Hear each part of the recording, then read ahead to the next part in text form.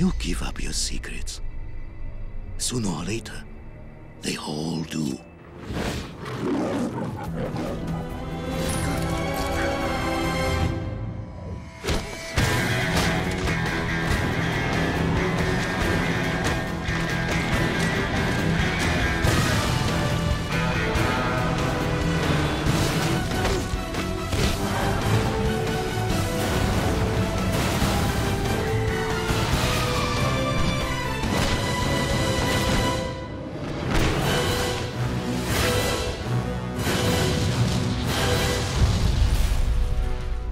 Want you out of there.